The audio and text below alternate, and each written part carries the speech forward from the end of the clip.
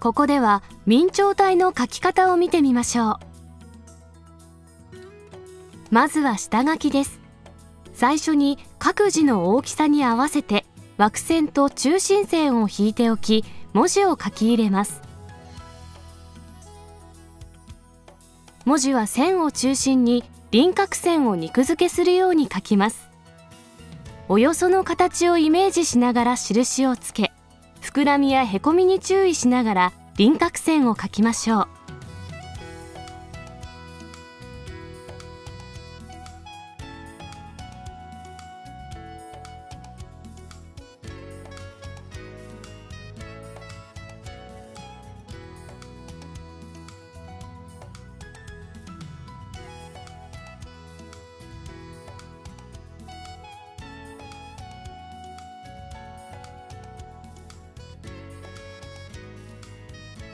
直線部分には定規を使うと良いでしょう。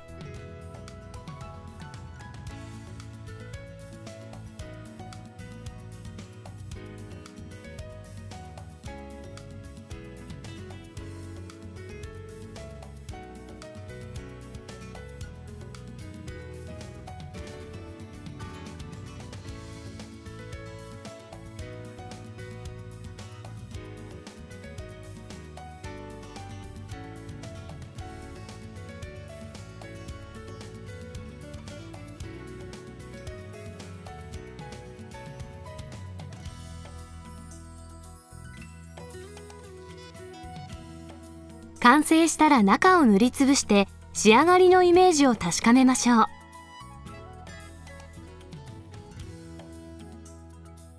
次にトレーシングペーパーに下書きを写し取ります。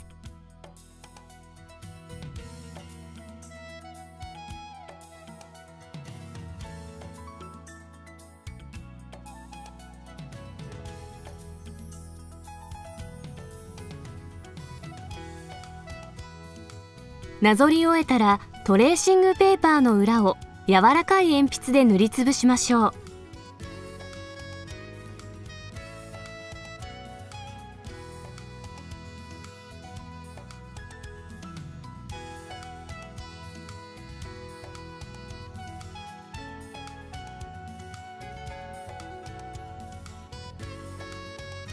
これを清書する紙の上に置き、もう一度線をなぞると下書きの輪郭を転写することができます。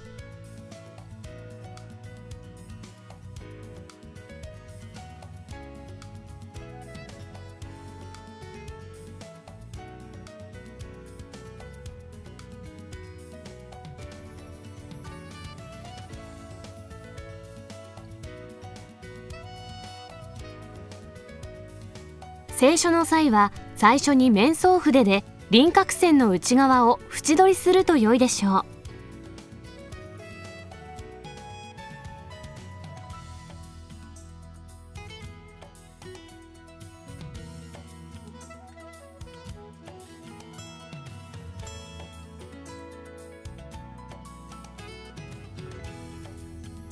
直線部分は溝引き定規を使うと確実です。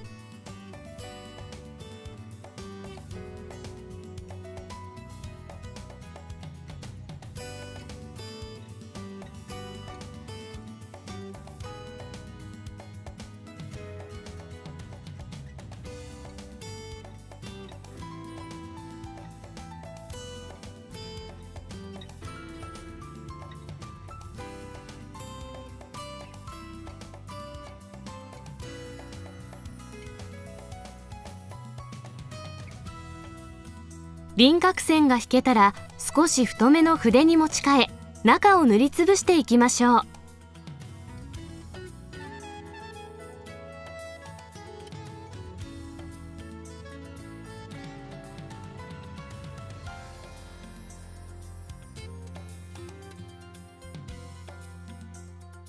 塗る範囲が広い場合は平筆が便利です。